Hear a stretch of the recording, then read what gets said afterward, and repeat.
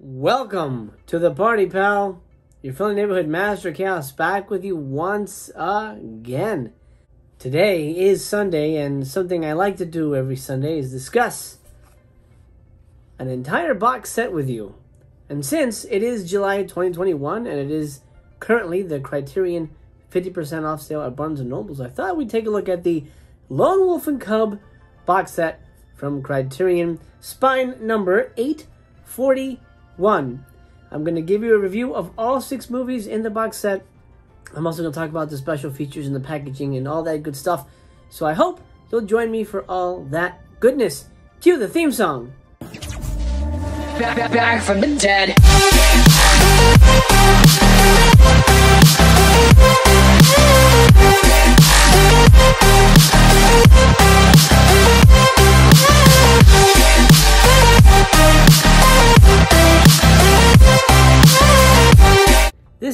Dare I say, an unexpected release from the Criterion Collection. Normally, when you think Criterion, you think Tokyo Story, you think 400 Blows, you know, you think foreign cinema that some could describe as boring or tedious.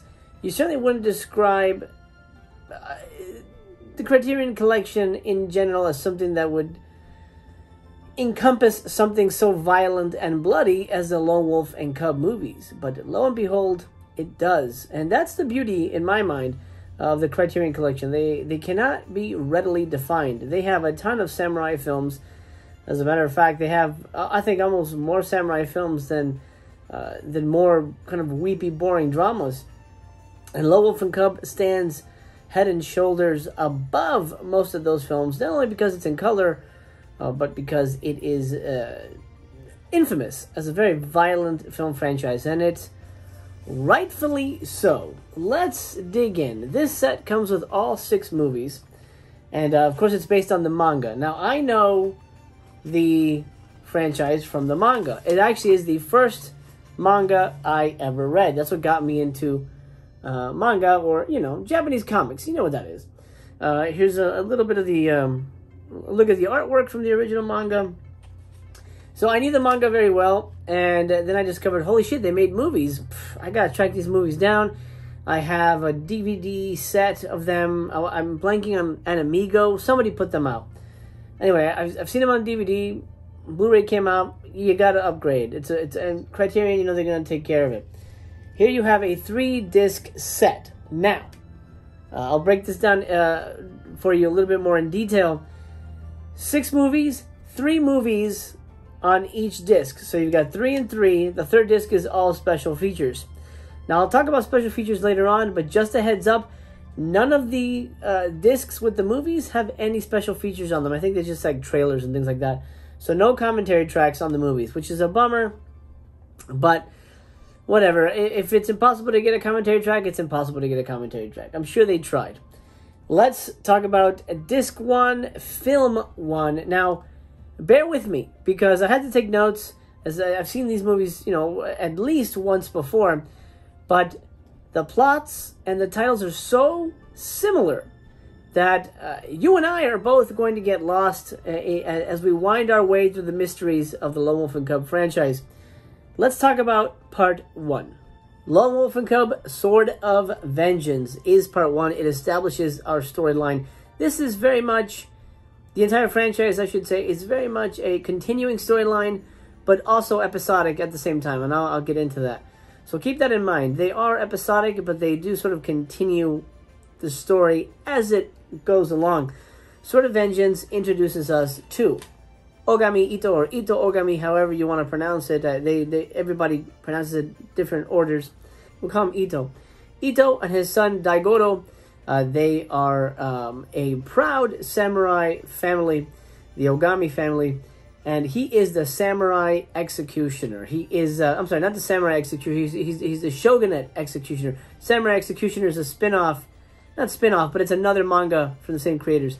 He's the shogun's executioner, his private executioner. What he does is he goes and he kills you know the the lords and and and vassals or whoever that like sort of disagree with the emperor his uh, or the, the shogun his uh, job is to go and behead them. You know they have to commit harakiri they stab their stomachs and he's the one that finishes them with a head chop, and it's it's uh, really strikingly amplified in the beginning of part one, where uh, the movie kicks off with the ritual beheading of a two-year-old uh, boy who is uh, who is sort of the heir of the throne of this particular clan, and uh, it's Ito's job to behead him because for some reason he's angered uh, the shogun.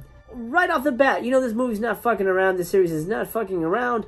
They're killing a two-year-old boy in the beginning of the movie. Now you don't see it; it's not very graphic, but you get. It. I mean, a sword comes down, and you do see a lot of blood spray, but it's full-grown people, so it's fine. You know, for the most part, it's fine. So we've established that he's sort of a um, a heartless guy. Then we see him go home, and he has a young son, about the same age as the boy he just decapitated. He's got a loving wife, and it turns out that the Yagyu clan, the Yagyu, however you want to pronounce it, they want uh, to take his position as the executioner, and to do so, they're going to frame him. Uh, they do this by killing his wife and planting some kind of again. Th- now, there's a lot in here that's very Japanesey and it's not going to translate when it comes to an American, you know, westernized audience. They plant some kind of idol on this altar that makes it look as if he's praying for the death of, of the shogunate. Uh, he's not, but it it looks bad. So, and they also frame him for the death of his wife, even though he's saying it wasn't me, it was, you know, this guy, you know, some ninjas came, they killed my wife, and they, they, they planted that. That's not mine the Yagyu are like, no, it's you, it's you. You know, um, because of this, this is disrespectful. We have you have to kill yourself. Of course, he's not going to do it, and he decides to go on the run and and become an assassin for hire. There's a great scene in this that really establishes the tone and the feel of the movie, where his little son Daigoro, who was actually maybe one year old or less at the time, uh, he shows him a ball. he shows him a samurai sword, and he says, "Daigoro, whichever path you choose." will be the will be the, the path that decides the rest of your life. If you choose the ball, you want joy, which means you cannot be with me because I'm going to walk the demon way in hell. And uh, if you choose the sword, that means you will walk the demon way with me and I'll let you live. But if you choose the ball, i will kill you and send you and, and send you to, to heaven so your mom can take care of you. The boy luckily chooses the sword, and father and son, Lone Wolf and Cub, go off on their journey. After a battle with the Yagyus, uh, he is his name is sort of cleared in essence, um, in terms of like um, them pursuing him or wanting his ritual suicide. He defeats one of the members of the Yagyu. He makes a deal: if I kill you, then you let me go. You know, leave leave the town, and I'll just be a you know be a Ronin and and be an assassin for hire kind of thing. And they're like, yeah, fine. He defeats the guy. He goes off on his journey. Now, I mentioned the films are very episodic, and here is why. The, everything I just said is about 40, 45 minutes of the, of the first movie. The second half is him being hired uh, as Lone Wolf and Cub, the traveling assassin. So we have setup, and the second half of the movie is just some random assignment that I'm I'm gonna spare you the details. Basically, he goes on some random assignment in this hot spring to um, kill some bandits or something. I'm not gonna say it's it's forgettable, but it certainly isn't the meat or the crux of the story. Uh, but we just that happens. That that, that that's something you have to kind of get used to because that will repeat throughout all these movies. You will see that kind of storytelling repeating, and I feel uh, that's a, both a positive and a negative for this franchise. Uh, let me explain. Uh, the positive is it makes these movies very rewatchable because so much happens in each movie that uh, it's hard to remember every detail. That's why I had to take notes. So many little things happen, whether he's getting chased by the Yagyus or he goes on some kind of mission that he's hired for. That mission mutates into something else that leads to the Yagyus. There's a lot in this. It's almost like a James Bond movie. Those are very rewatchable because there's so much that happens in every movie. The, the, the negative is it makes the movies feel too similar. The only one that really stands out is the last one, uh, White Heaven in Hell or White Hell in Heaven. I don't even remember the, the, the, phrasing. I have to look at my notes before we talk about that one. But the only one, the only reason that stands out is because it takes place in the snow. All the other ones are very similar story wise, plot wise, and that's a problem. That's definitely a negative because I can't necessarily point out and say, "Oh, that is the best entry." Um, although I do have a fond uh, sort of soft spot for part four, and I'll talk about part four when I get there. But that aside, um, the franchise is worth a watch. Let me state that right off the bat. Anyway, so that's part one. Part one is a good movie. It's not a great movie. It's a rough start because of that weird stop start storytelling where like you've set this up, but you haven't paid off the Yagyu storyline, and now we're on some random quest that you know we're not really connected to in any way beyond the fact that we want Ito and Daigoro to live. But that leads us to part two and the installment that I think people consider the best in the franchise, and that is Lone Wolf and Cub Baby Cart at the River Styx. This one is the bloodiest and the James Bondiest. And, and, and now we mentioned James Bond in terms of plotting, but here James Bond means gadgets. We, we discover that our baby cart, this little rough hewn little wooden box that Daigoro sits in, is full of fucking gadgets. Swords pop out. It's got a Gatling gun. I mean, it's got everything. And it, it definitely elevates it above other samurai films of the like, especially Zatoichi's type, uh, type movies, which, by the way, Shintaro Katsu Zatoichi produced these movies for his brother uh, Tomisaburo Wakayama, who is, of course, uh, Ogami Ito. So there's a little connection to Zatoichi there, which is very cool.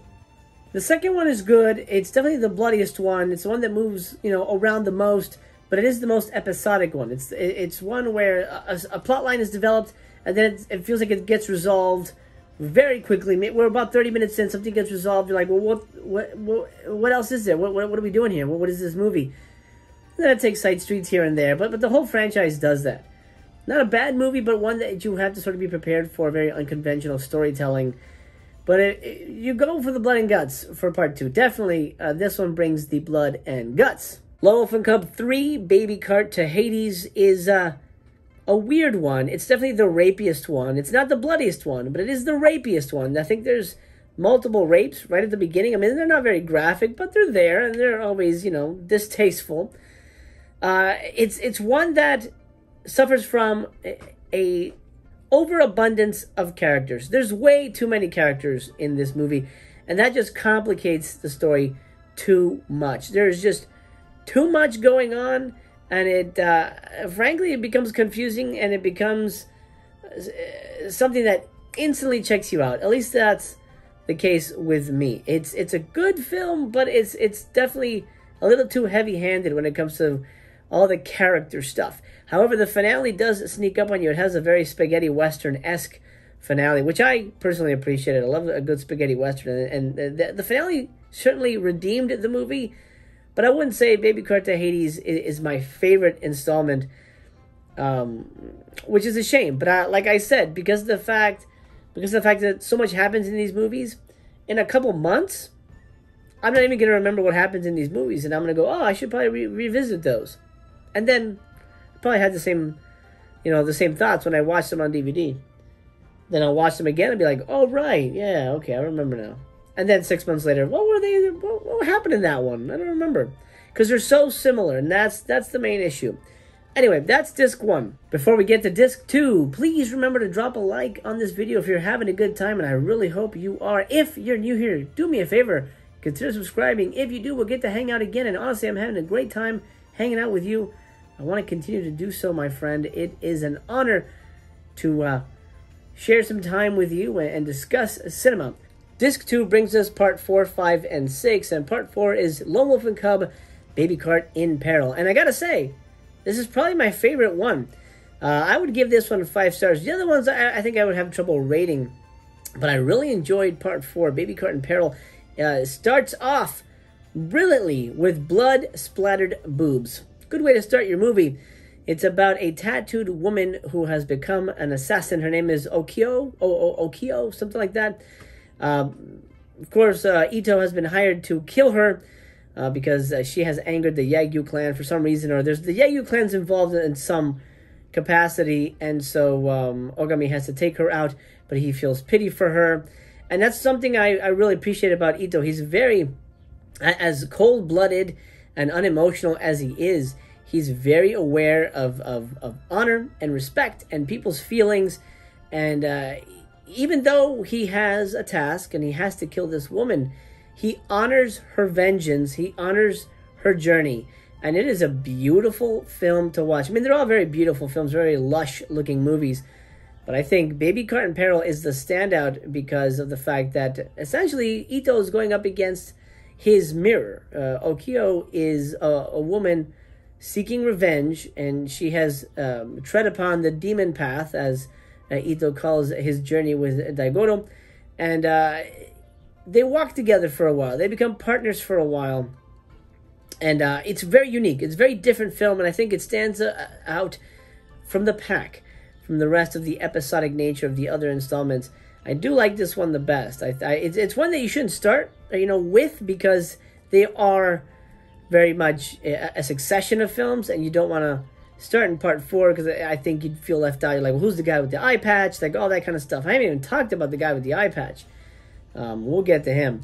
But uh, it's a solid movie and probably my favorite uh, of the entire collection. You know, right there with part two.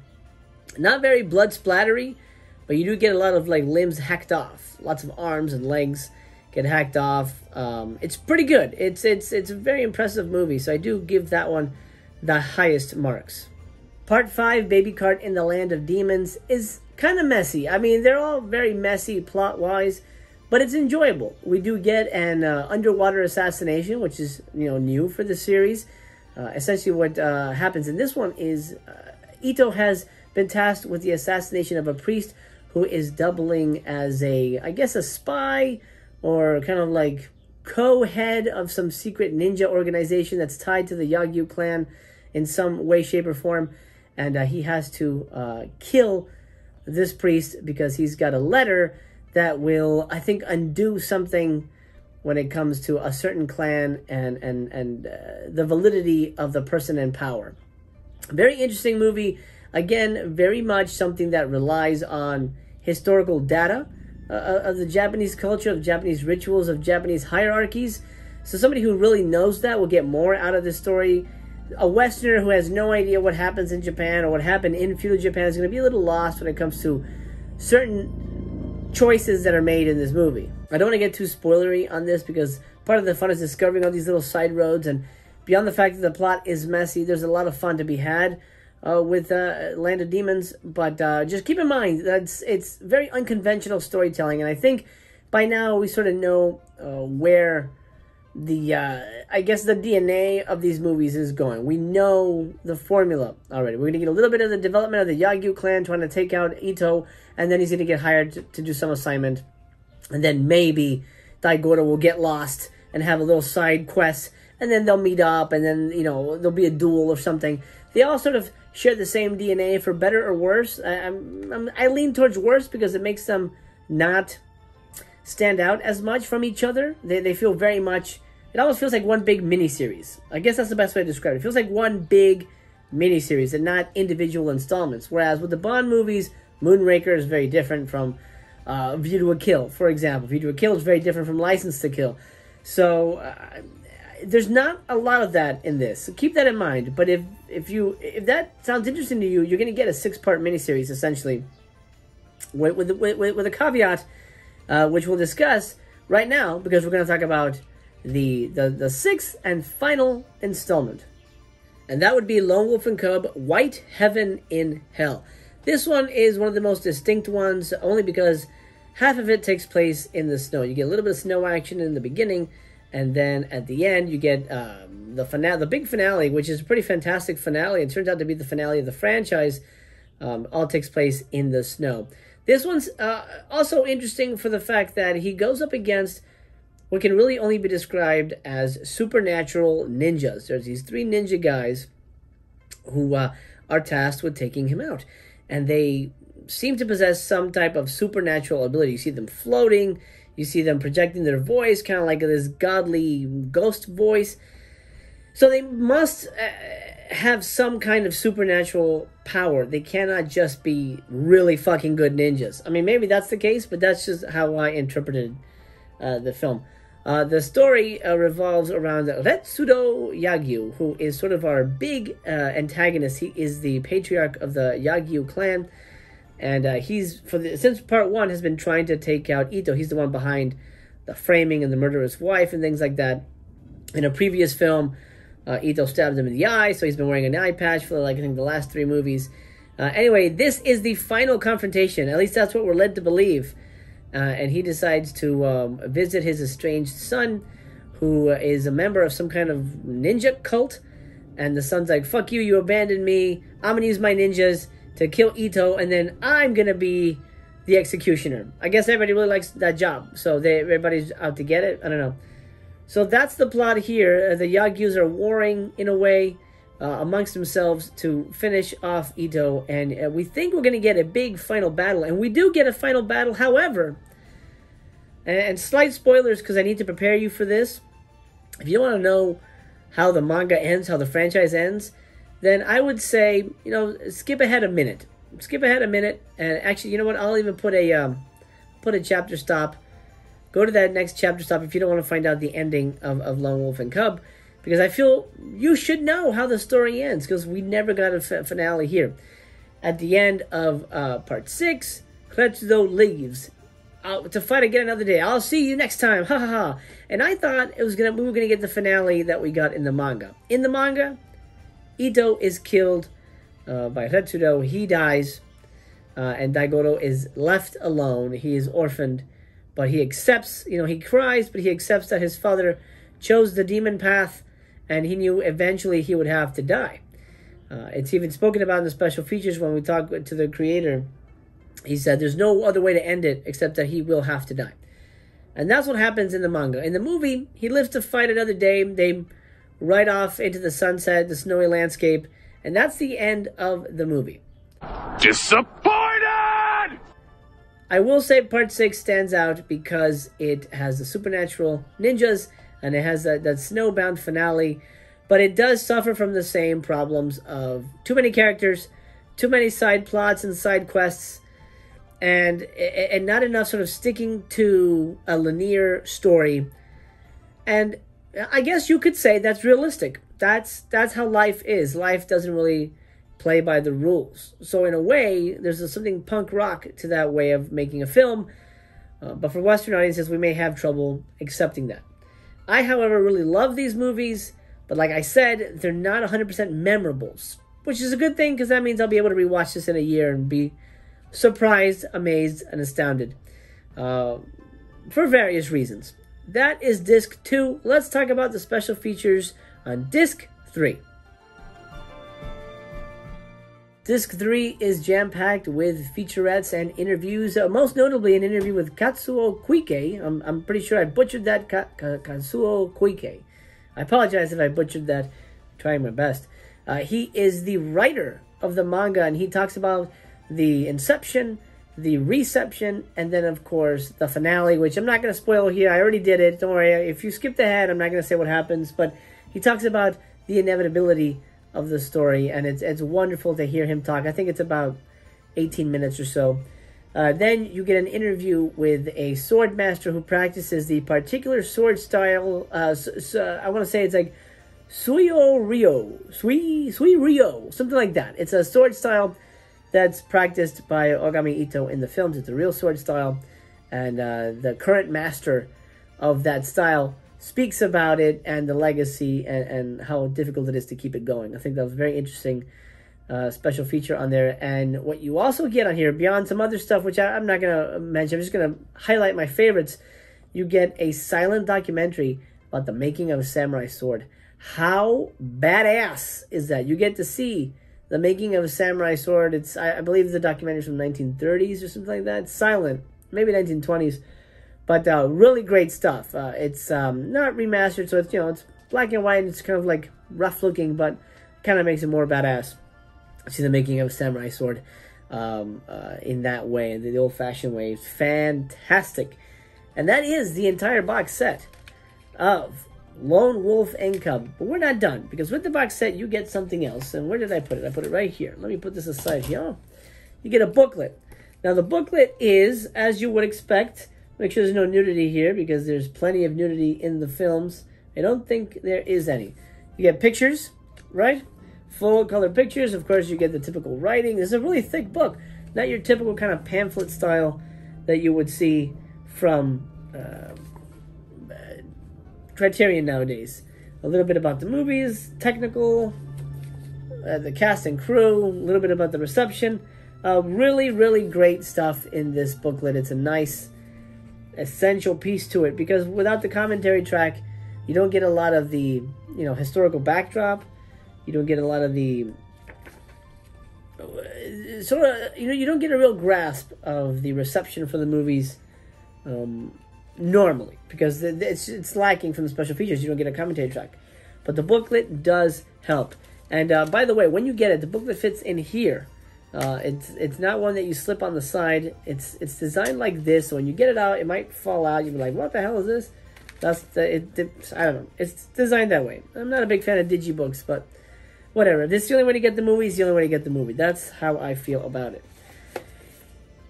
Lone Wolf and Cub, six film collection from Criterion Collection. Spine 841. Should you get it? 100% yes. 100% yes. Uh, during the the Barnes & Noble sale, I believe it's 50 bucks. 50 bucks for six movies, uh, six historically important uh, films, not just to samurai cinema, but the cinema in general. If you love Quentin Tarantino, if you love Takashi Miike, uh, gosh, if you love any of those guys, uh, Shinya Tsukamoto, you're going to see a lot of influences on those guys from these movies, and you're to get a kick out of them. This is definitely bang for your buck. Um, just don't sh- shotgun them all in, in a couple days like I did because you will exhaust yourself. you will exhaust yourself. These are pretty exhausting movies, um, but they're 100% worth your time. Okay, pal, that'll do. I hope you enjoyed this box set Sunday review of the Lone Wolf and Cub films from Criterion. Uh, I love that set, and uh, I'm curious if you guys have it, so let me know in the comments down below. Either way, if you're going to get it or if you have it, I'm, I'm curious what your thoughts are. Um, on your way out the door, please leave me a thumbs up. If you're new here, do subscribe. I'll see you soon. Remember, I love you. As a matter of fact, I love you just the way you are.